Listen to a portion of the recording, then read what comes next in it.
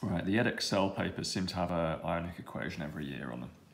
So it's worth having a go at them. They are difficult. Uh, best way to have a go at ionic equations is to, is to get the uh, normal symbol equation out first. So we've got magnesium reacting with hydrochloric acid. So I'm just going to do the straightforward symbol equation for this one. Magnesium reacting with hydrochloric acid. Uh, this is what this looks like. Okay. Now, um, let's put some state symbols in here as well, because that's important. Solid, aqueous, uh, aqueous, and gas.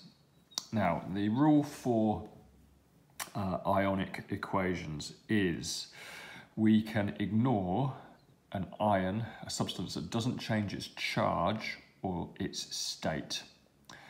Okay, so immediately, magnesium solid, magnesium aqueous. Magnesium's got to go into the ionic equation because it's changing from solid to aqueous. Uh, it'd be useful before we go any further to put some charges in on the ions here. Now magnesium's an element here, so no charge, elements don't have charge.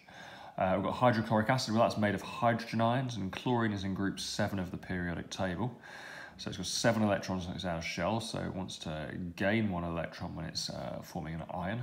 So if it's getting one electron, it's got a single negative charge. Magnesium uh, in an ionic compound here. Magnesium is in group 2 of the periodic table, two electrons on its outer shell, so it wants to lose those two electrons, so it forms a 2 plus charge. Chloride ions, single negative charge.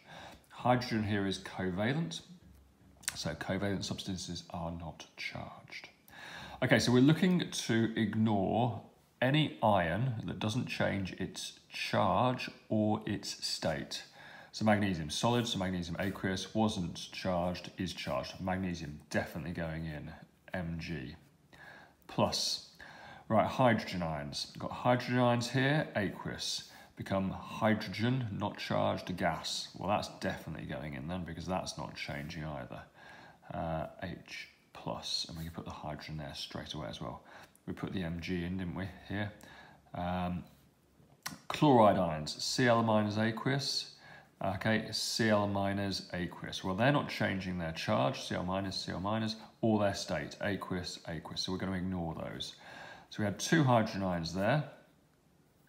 That was Mg2+. plus. Now, because the magnesium we're writing without the chloride, uh, we do need to put the charge on that ion there, uh, plus H2. Let's just check that's all right. Yeah, looks good. There is our ionic equation. All these questions on aylshamhighchemistry.com.